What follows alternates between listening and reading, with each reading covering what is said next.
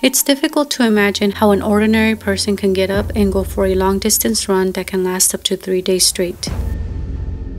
But being able to endure such long distance runs is not an uncommon phenomenon. Some runners, called ultra marathoners, may run distances of 5 kilometers many times over in a single race. These runners are regular people that train hard in order to endure running 160 kilometers, if not several hundred kilometers at one given time. Despite not being good speed runners when compared to other non human primates, trained endurance runners have the amazing ability of running ultra long distances. But where did this running ability come from? To find out, we need to consider the evolutionary past and the selective pressures that might have taken place for endurance runners in early hominids. In the attempt to explain the modern human body form and long distance running abilities in early hominids and in modern Homo sapiens, two hypotheses have surfaced in the literature. The first hypothesis is called the scavenging hypothesis, which has been around since the early 1980s. The scavenging model suggests that early hominids developed the ability to run long distances to access previously killed meat before other scavengers arrived the evolutionary pressure to scavenge meat created a serious competition between early hominids and other scavengers like hyenas. Over time, such need to get the previously killed meat resulted in the improvement of endurance running capabilities. In 1984, two pivotal papers were published, one by David Carrier and colleagues, and one by Walter Bortz. In these papers, the long distance running hypothesis was first proposed, where they suggested that long distance running was used by early hominids like Homo erectus around 2 million years ago to run down large game to exhaustion without the use of sophisticated weapons. This way of running down large animals is also known as persistence hunting. Although it may be possible to utilize walking to outpace a small ungulate on a hot day, the goal of persistence hunting is to run an animal down to exhaustion so that the animal keeps running at a trotting pace for long periods of time, where the animal is not allowed to rest. At this pace, the animal will eventually enter hyperthermia since it will not be able to keep itself cool by panting alone. At this point, the exhausted ungulate gives up running altogether and accepts his or her death. Unlike ungulates, early Homo is known to have had an increase in eccrine sweat glands as well as having a comparatively bare skin that allowed them to maintain a cooler body temperature in hot environments when running. I'll elaborate more on persistence hunting later in the video, but for now, just know that these two articles by Carrier and colleagues in Walter Bortz first suggested that long distance running allowed early hominids to acquire higher quality and nutrient dense food, which is meat. Two prominent researchers named Dennis Bramble and Daniel Lieberman believe that endurance running was already being used in scavenging. Scavenging allowed early Homo to develop the skill of persistence hunting, which requires tracking skills and the ability to run long distances. Therefore, the scavenging hypothesis and the running hypothesis are complementary. Being locked into an evolutionary arms race with other scavengers such as hyenas eventually led early hominids to become efficient long distance runners. Over time, the early distance runners became efficient enough to use their running ability to run large game down to exhaustion via persistence hunting to access their animal protein. The running hypothesis remained dormant for about 20 years after it was first proposed due to lack of empirical evidence. Around the time, in the 80s, Carrier couldn't find any group of hunter gatherers that were practicing persistence hunts because the hunter gatherer groups he knew of had already adopted modern hunting methods, such as hunting with rifles, but also the evidence for persistence hunting was difficult to come by using archaeological methods because this practice leaves no traces in the fossil record. Other avenues for evidence were explored by Bramble and Lieberman in 2004 when they published a list of 26 distinct physical characteristics that were unique to long distance running in humans.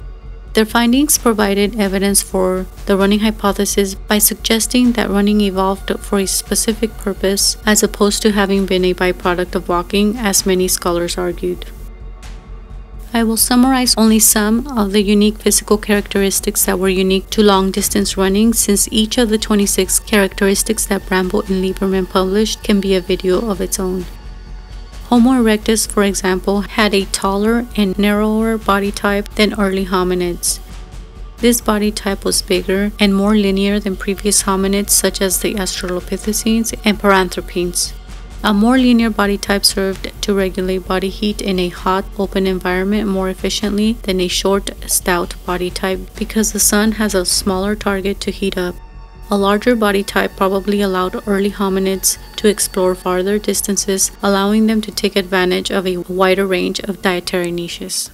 Homo erectus also had longer legs relative to their body size, shorter toes, and longer Achilles tendons than previous hominids. With longer legs, running hominids are able to take longer strides, which improve long distance running speed over time. Shorter toes serve to stabilize the plantar flexion stride landing, and longer Achilles tendons help save up to 50% of the metabolic cost that it takes to run long distances. Furthermore, a nuchal ligament, a more balanced head, and a short snout in the human skeleton serve to stabilize the head when running. Soon after Bramble and Lieberman published the 26 physical characteristics that were unique to long distance running in humans, Bramble received a phone call from an individual named Louis Liebenberg claiming that he could show how an antelope could be run down to death. This was one piece of the puzzle that Bramble and Carrier had been looking for since the running hypothesis was first proposed. In 1984, Carrier took on the same challenge by attempting to run an antelope in Wyoming down to exhaustion himself to show the community that an animal could be caught by foot.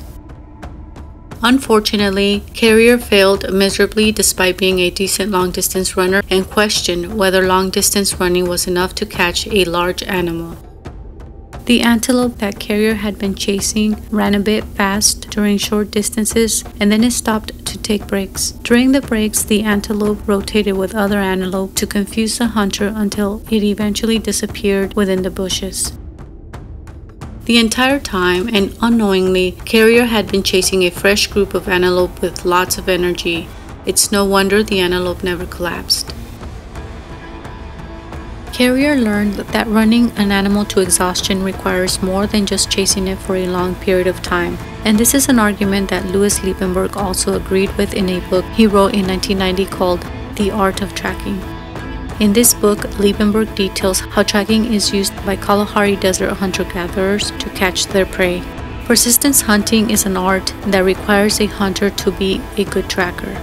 Liebenberg argued that the intellectual abilities to perform sophisticated types of tracking are the same abilities that are used to perform modern physics and math. He therefore believes it is possible that our abilities to do science originated from the ability to solve hunting problems in the evolutionary past. As with everything, it may be a contributing factor in hominid brain evolution, but to what degree it is unknown.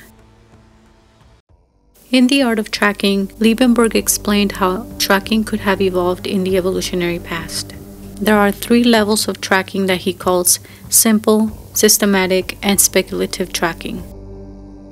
Simple tracking is a straightforward type of tracking technique where an individual, presumably an early hominid, followed easily visible footsteps on the ground of its prey. Over time, early hominids mastered the ability to follow animals through simple tracking and thus became good at tracking them. Systematic tracking is a more sophisticated way of tracking an animal. Here, the tracker requires to have subtlety and perception. An individual needed to read the signs left from its prey, such as trampled grass or pebbles on the ground that had been displaced out of their sockets. From systematic tracking, early hominids probably developed speculative tracking, which is a technique that is even more involved than the two other tracking types. This type of tracking requires the hunter to imagine where the prey could have gone, but also requires knowledge of the animal and the terrain, such as knowing that a particular animal visits a certain feeding ground and where it rests on a regular basis.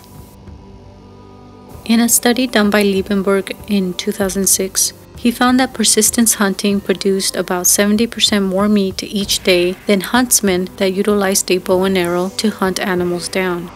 but not as much meat as when hunting with dogs.